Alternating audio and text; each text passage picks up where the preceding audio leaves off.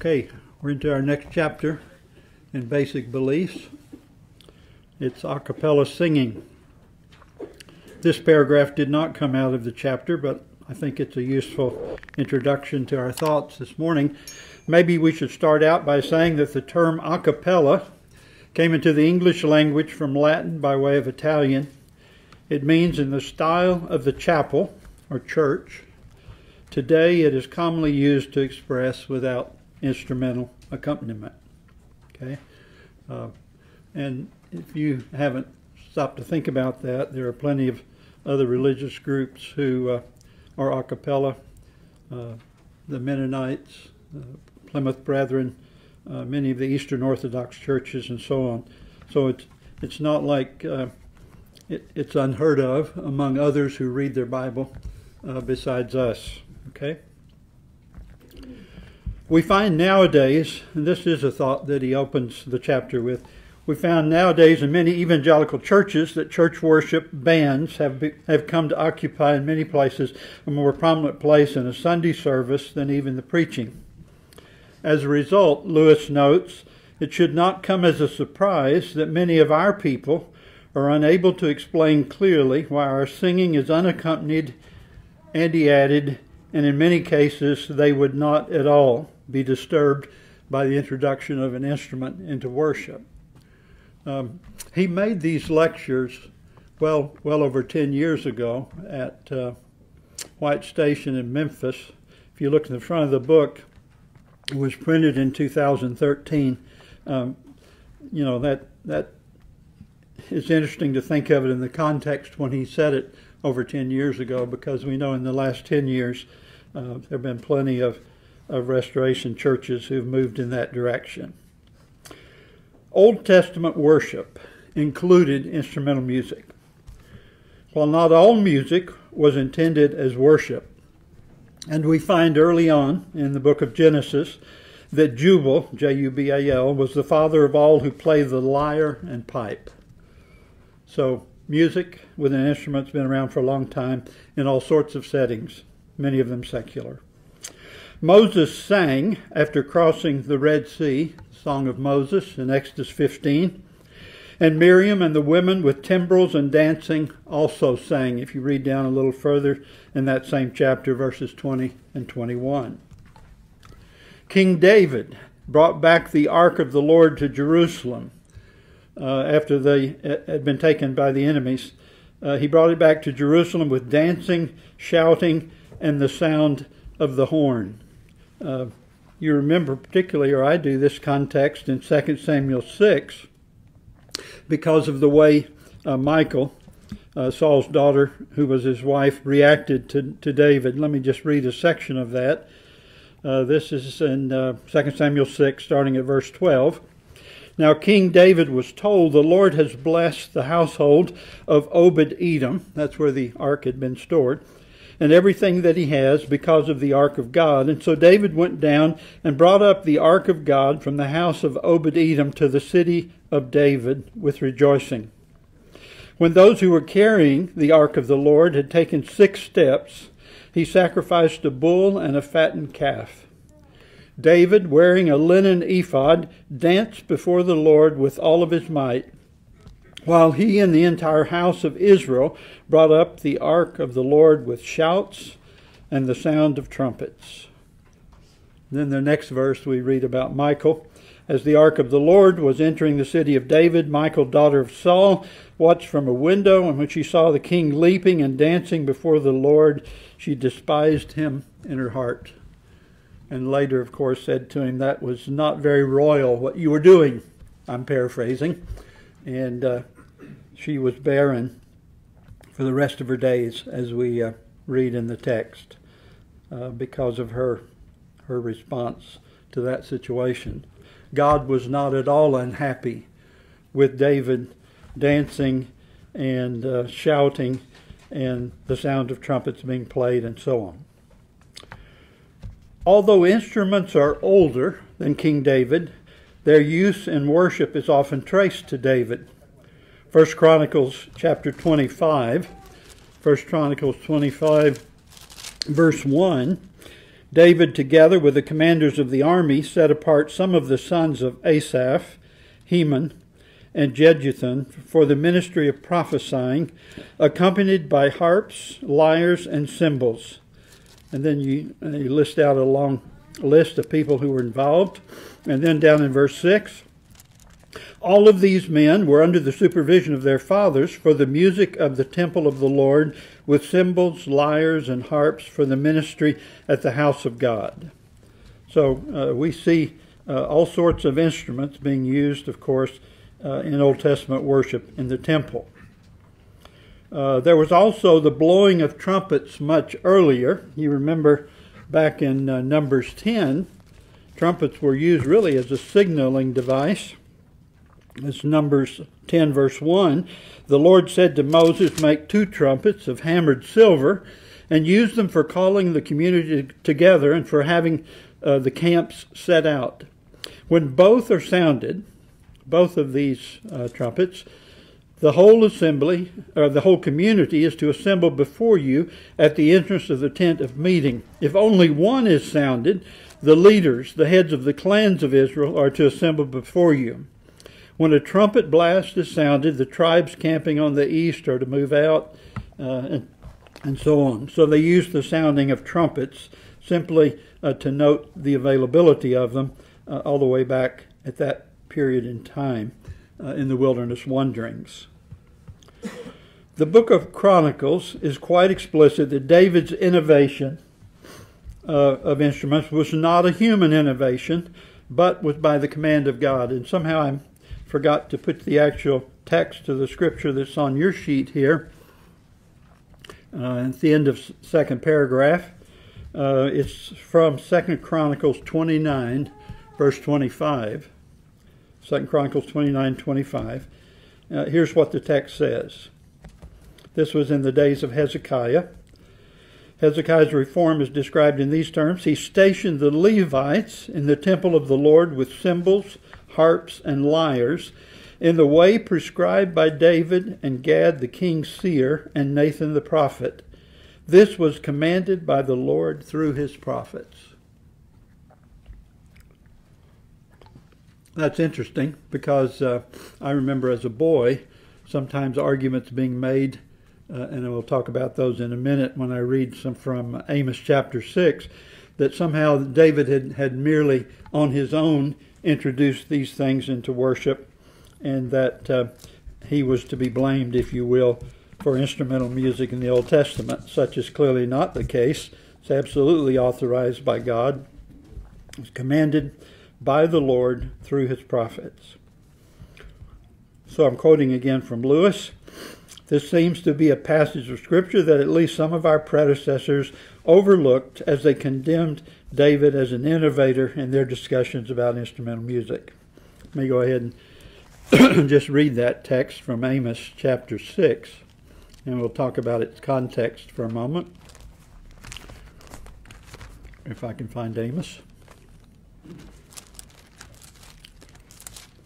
Amos 6. I'm going to read the first six verses. In the NIV, there's a sort of a heading at the beginning of the chapter Woe to the complacent. And so it starts out with woes. Woe to you who are complacent in Zion, and to you who feel secure on Mount Samaria, you notable men of the foremost nation, to whom the people of Israel come. Go to Calneh and look at it. Go from there to Hamath and then go down to Gath in Philistia. Are they better off than your two kingdoms? Is your land larger? Uh, is their land larger than yours? You put off the evil day and bring near a reign of terror. You lie on beds inlaid with ivory and lounge on your couches.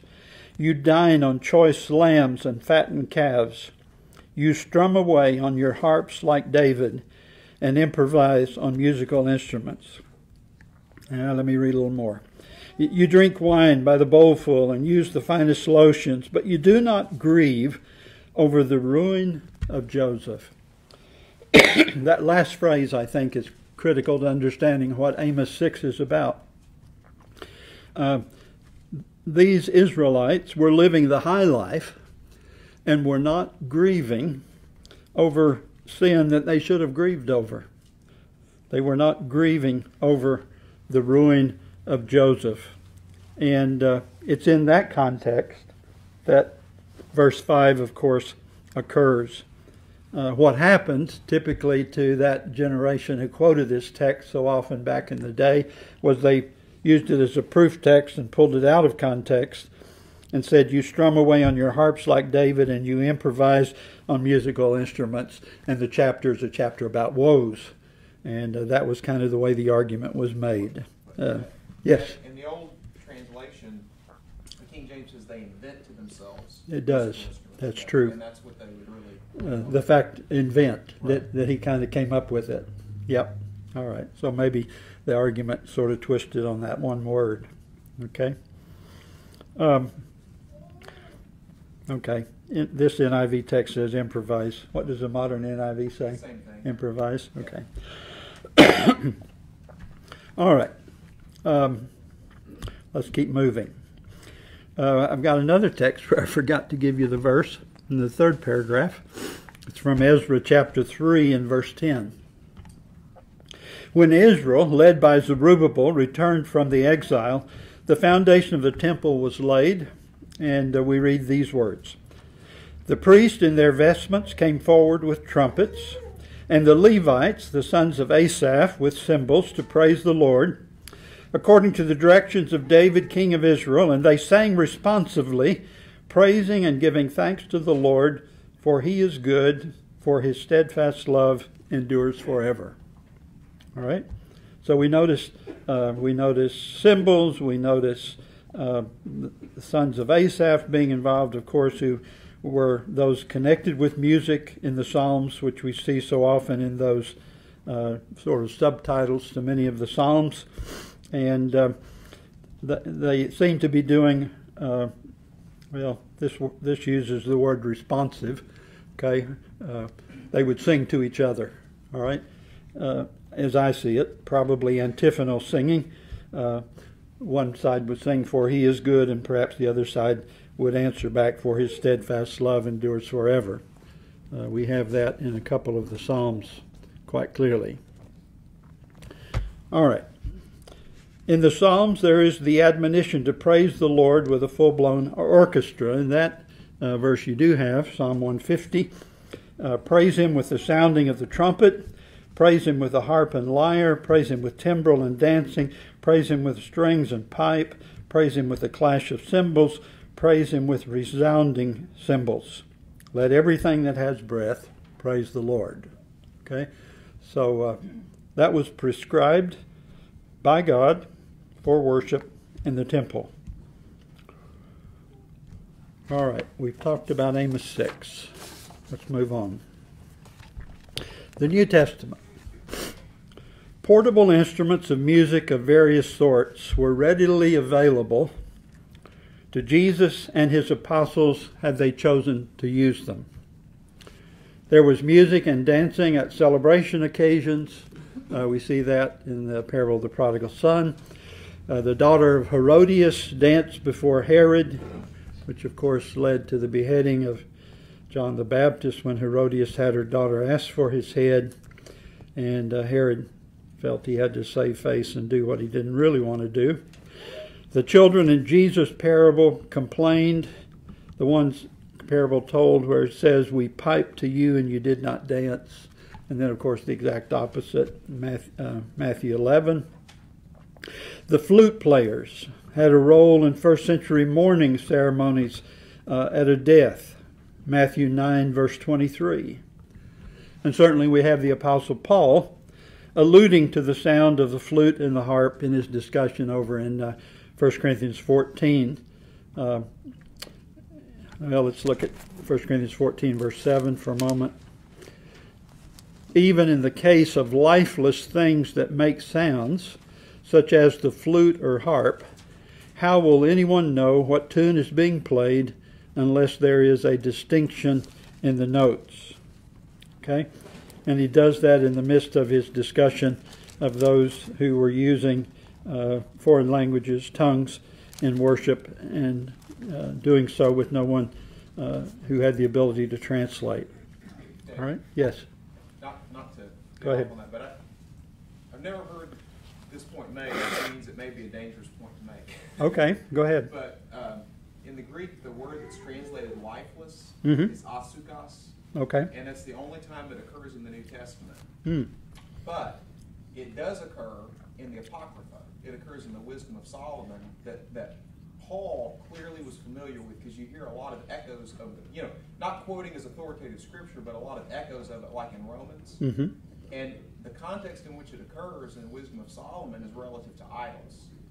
And so it doesn't seem to be a positive term, it seems to be a negative term Okay. in, in its usage. And it seems to me kind of hard to understand why Paul would use that term for instruments in the Mhm. whole context in which he's talking about what's appropriate in worship, even though he's not talking about the singing per se at that particular point in time. Right. But if the church used instruments, it seems hard for me to understand why he would call them lifeless. Lifeless instruments. Right. Okay.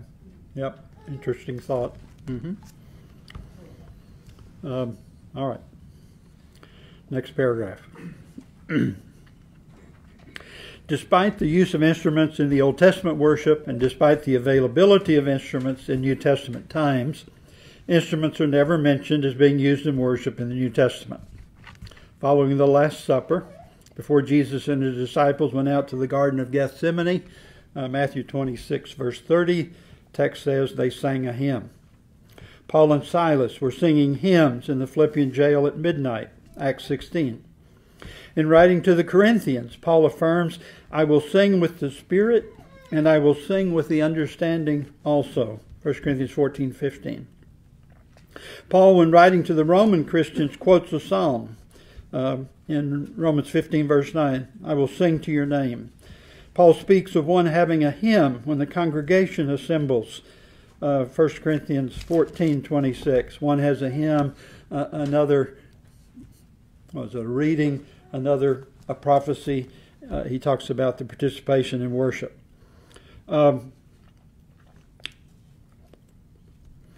there's also the well known passage from Ephesians 5 uh, Don't get drunk on wine, which leads to debauchery. Instead, be filled with the Spirit, speaking to one another with psalms and hymns and songs from the Spirit. Sing and make music with or from your heart to the Lord, always giving thanks to God the Father for everything in the name of our Lord Jesus Christ. Okay, always a kind of an interesting verse to ponder um, in in terms of the Spirit. Uh, we we would capitalize and spirits, uh, alcoholic spirits. Um, don't get drunk on wine. Get drunk on the Spirit. Really, is what Paul uh, seems to be saying. You should be filled with the Spirit, and when you are filled with the Spirit, uh, then singing occurs. The parallel passage in Colossians 3 says, Let the word of Christ dwell in you richly. Teach and admonish one another in all wisdom, and sing psalms and hymns and spiritual songs with thankfulness in your hearts to God. And of course, the writer of Hebrews speaks of Christians offering to God through Jesus the fruit of lips that acknowledge his name which certainly would include singing. Would be singing alone, but certainly would include it. Is it not strange, Lewis asked, that after all that is said about instrumental accompaniment in the Old Testament, one has this complete silence in the New Testament as far as Jesus, his apostles, and the early church are concerned? Portable instruments were readily available to Jesus and his apostles had they chosen to use them. The argument that the poverty of the early Christians uh, was why they didn't have instruments doesn't carry much weight uh, because, uh, you know, it's, it's not expensive to, to own a flute or a bugle or uh, a cymbal or something like that. No great cost would have been involved in those things. So you can't make the argument from poverty, as some have tried to do, and say, well, the early church was just so poor they didn't have instruments in worship. A great deal is also made in some circles of the fact that four part harmony was not known in singing in the first century. These folks who make this argument parallel its use as an innovation comparable to the use of instruments. Uh, but Lewis notes a passage from Philo of Alexandria uh, in his description of the Therapeutae that seems to need consideration. By the way, the Therapeutae uh, were not Christians, they were more contemplative ascetics who lived near Alexandria. Um, but you'll get the point, I think, of the quotation when we read it, and we'll understand why Lewis brings it up. After describing in some length the music meeting of these folks, Philo of Alexandria, who, by the way, passed away in uh, AD 50, so we're talking about the first half of the first century of what he's describing here. He wrote, It is on this model, above all, that the choir of the Therapeutae of either sex, note in response to note and voice to voice, the treble of the women blending with the bass of the men, create an harmonious concert, music in its truest sense. The point seems to be Philo knew the difference in singing between the male and the female voice. And while he didn't describe four part harmony, he does seem to be describing two part harmony, particularly the fact that the treble of the women is blending with the bass of the men. He goes on to say, uh, at least there is more than unison sing- singing occurring here in a first century setting.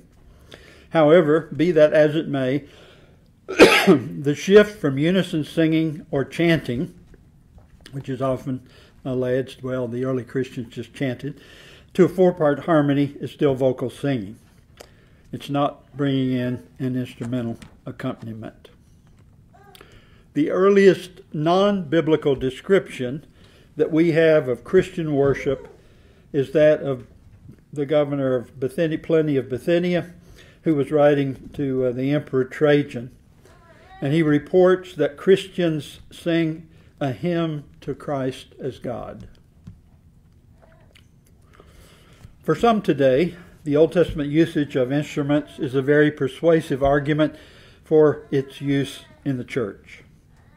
But, and he puts the question this way Is it not worth noting that neither Jesus nor his disciples ever, uh, ever hinted at the use of an instrument either as an act of worship or as an aid to an act of worship. We just don't find uh, any uh, authorization in our Bible for that in the New Testament. Some musicians, and you've no doubt heard this, have argued that God gave them the skill to play their instrument, and so they're going to use that skill to praise the Lord. Um, to show the fallacy and maybe uh, how ridiculous that argument is.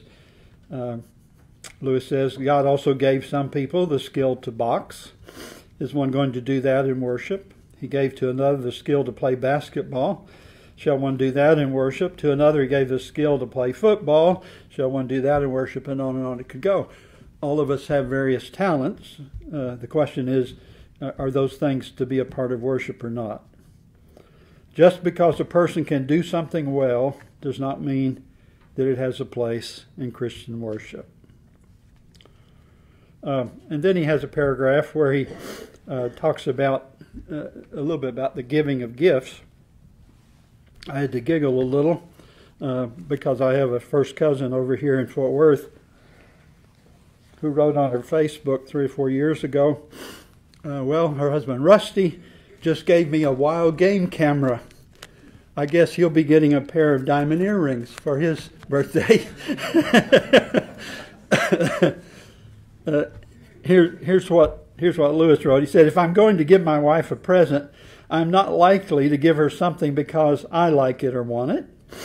I would not, for example, get her a circular saw or an acetylene torch.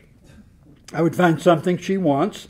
If I'm going to offer something to God and I want Him to be pleased with it, then I have to offer what God has specified that He wants. Singing, God has specified. Instrumental music, in New Testament times, He has not specified. Further, Lewis says people seem unable to understand that something approved in the Old Testament could be disapproved of in the New Testament. But take them the matter of animal sacrifice. There's no New Testament passage that specifically condemns animal sacrifices. Thou shalt not slaughter a goat or a lamb. New Testament passages do show that their purpose was accomplished in the once for all sacrifice of Jesus on the cross. Uh, think about everything we read in Hebrews. With that sacrifice being made, it's superfluous to offer sacrifices that cannot take away sins and with, with which God would not be pleased. Early Christians did not do that, which is useless. Burning incense was a part of Old Testament worship, but no provision is made for such in New Testament worship. Both the Greek Catholics and the Roman Catholics regularly offer incense in their services. Uh, the Lord is praised in the dance in the Old Testament. We saw David dancing uh, before the Lord. No provision is made for that in the New Testament. Today, there are churches, of course, which are engaging in dancing as a form of worship. Also, religious processions occupy an important role in certain forms of worship. Though those processions are sometimes very colorful and impressive, again, Lewis says the New Testament knows nothing of, of the sort. Some people are seem also perplexed about singing uh, when they read about music in heaven in the book of Revelation. And so he turns his attention to various texts in Revelation. First, one needs to notice explicitly what is said in Revelation. In Revelation 1:10, the text says that John hears a voice like a loud trumpet. Not a trumpet, but like one. John also hears a voice like many waters. Revelation 1:15. Seven trumpets do sound as a part of the action of the book in Revelation 8, uh, but those trumpets do not have anything to do with singing or worship. Probably the use of trumpets more in the sense of what we saw in Numbers 10 a moment ago. Signaling. In Revelation, there's singing, not described as accompanied by instruments. All that is said is singers. And let's look at this text, Revelation 5, verse 9. And they sang a new song. You're worthy to take the scroll and to open the seals because you were slain, and with your blood you purchased men for God from every tribe and language and people and nation. You have made them to be a kingdom of priests to serve our God, and they will reign on the earth and they sang a new song. In addition, the voice I heard, this is Revelation 14. Uh, John says, The voice I heard was like the sound of harpers playing on their harps, and they sing a new song before the throne. Uh, he says, This is a simile where sounds are said to be like instruments, but not instruments themselves. Uh, and then he kind of reached back into the past a bit. He said uh, he could envision something perhaps like Keith Lancaster's group a cappella, where instrumental sounds were made with the human voice. Just a thought that came came across that uh, he decided to uh, put in his notes. Maybe that was the case. There were then there are the four living creatures, Revelation 5, with harps and bowls of incense. There are the seven angels with the harps of God in their hands, and they sing the song of Moses and the Lamb. So you've got angels singing, uh, but apparently angels, uh, at least in the vision, with harps in their hands. There is also secular music mentioned in Revelation. Uh, Revelation 18:22, uh, in reference to uh, the sounds in Babylon. If I can get there. 1822. The music of harpists and musicians and flute players and trumpeters will never be heard in you again. Uh, in this context, where when Babylon is thrown down, uh, all the things that made up life in Babylon uh, will cease to be. And certainly, uh, musicians, harpists, flute players, trumpeters, all those things uh, are gone. And so Lewis concludes Revelation 15, verse 2, that if the accompanied singing of the angels that we saw back in chapter 14, if the accompanied singing of the angels authorizes instrumental accompaniment in worship in the church, then it would also authorize the use of incense, because the living creatures had bowls of incense. Uh, but of course, Revelation said the bowls of the incense, when you understand the figure, it, are the prayers of the saints. So that's the difficulty you get into when you start uh, literalizing aspects in the book of Revelation. All right, so then he turns his attention to some arguments. He notes that the argument against the use of instrumental music is the same argument as that against other non authorized types of worship that we've already listed.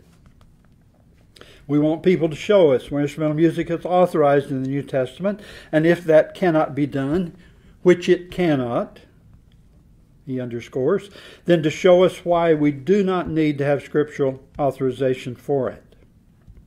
And surely Lewis then adds, these two alternatives should not be hard to understand. Either you've got authorization or you don't. It's popular to argue, I do not see any place where the use of instrumental music is condemned in the New Testament. And he simply says, no one is arguing that anyone's going to find a verse that says, Thou shalt not use instrumental music in Christian worship. The argument and logic is that where the Lord gives a command, then that eliminates doing anything else. And that's come up three or four times in the course of lessons throughout this book. Most obvious, of course, being Noah and the ark, that he was to use a certain kind of wood. The two sons of Aaron, who took unauthorized fire and tried to offer it before God and were uh, killed by the Lord. Or the fact that the Old Testament priests always had to be the Levites, as stipulated by God. The New Testament does not pretend to contain a list of all the things people should not do in worship. Popes, cardinals, and archbishops are not prohibited by a specific you shall not, nor are infant baptism, sprinkling for baptism, the use of incense, dancing, and a good many other practices prohibited, but none of them are authorized. A person always needs to ask, where does the Bible authorize this practice? While it may seem strange today for a 21st century church not to have instrumental accompaniment to singing, the New Testament church did not have such for centuries after its establishment. People worshiped in song, which is why it was called or is called a cappella, as in the style of the church. Now, a few quotations uh, from the early church fathers. And if you've not pondered this very long, you need to. Uh, the early church fathers who lived in close proximity uh, to the apostles and maybe in a few cases even rubbed elbows with some of them, uh, what they had to say should be of interest to us because it would reflect how they read and understood and practiced the New Testament. Clement, and I assume this is Clement of Rome, wrote, let us then give him praise, not only with our mouth, but also from our heart, that he may receive us as sons. Justin Martyr. We offer solemn prayers and hymns for his creation and for all things leading to health. Prayers and hymns. And then in the Sibylline Oracles, and I left an L out of Sibylline, should be two L's. In the Sibylline Oracles, in gracious psalms and songs fitting for God. To him, thee, the immortal and faithful, are we bidden, God the creator of all, the omniscient one. At the end of the second century AD, Clement of Alexandria was arguing against instruments. Here's his quote. Did I put that on your sheet? Forgotten. Yeah, I did. We, however, make use of but one instrument, the word of peace alone, by which we honor God, and no longer the ancient psaltery, nor the trumpet, the tympanum, and the aulos, as was the custom among those expert in war and those scornful of the fear of God, who employed string instruments in their festive gatherings, as if to arouse their remissness of spirit through such rhythm. In a last thought, near the chapter's end, Lewis notes this. He said, I find it tragic and ironic that just at the time many of our people seem ready to adopt instrumental music, a preacher from the Reformed Presbyterian Church has come out with an attack on its use as not having scriptural authority. And uh, do you own this book, by the way? Is, is he talking about the new light on old? No, Brian Schwertley's book.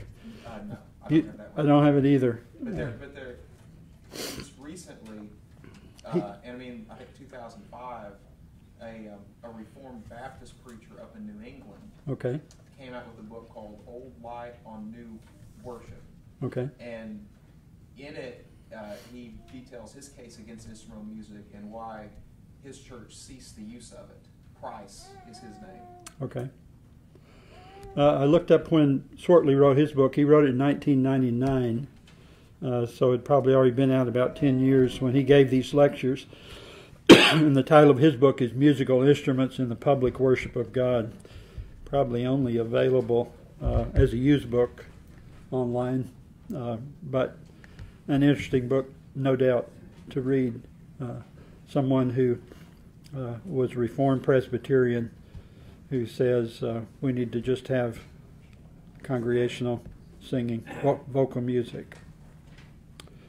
Um, that was pretty much what was in the chapter. I looked at another quote from uh,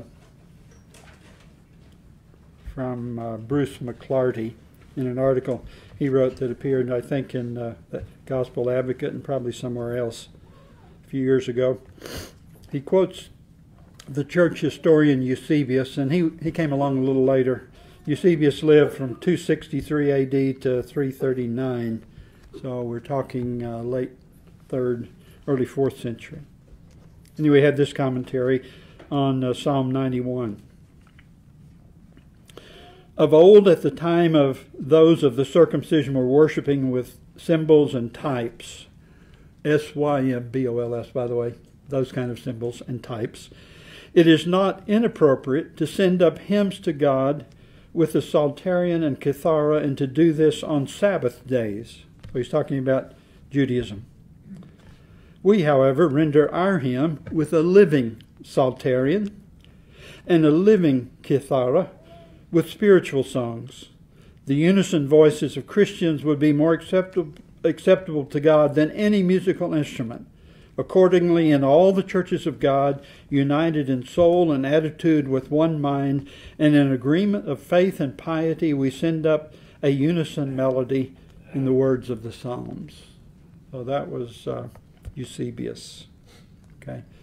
Uh, and McLarty in that article breaks breaks down really three areas of complaint in his mind where uh, where uh, instrumental music sort of doesn't fit the bill for New Testament worship. First of all, its association with the Old Testament, uh, its association with externals, yeah, uh, that it that it uh, was very much to do with the the senses and and uh, you know, the smells of incense and the kinds of things that went on uh, under the old covenant, and uh, thirdly, its association with pagan festivals, um, which is one that we probably don't often think about.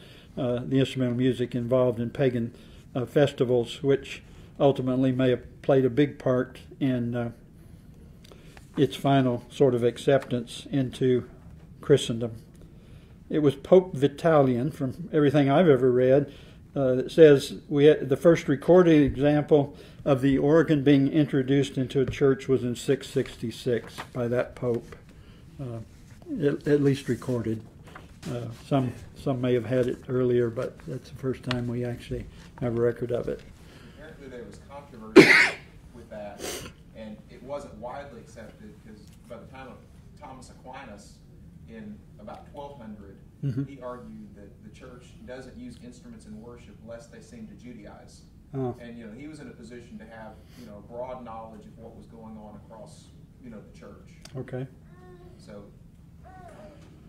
So really, you've got to come pretty much to the second millennium before the introduction on a broader scale of instrumental music in Christian worship.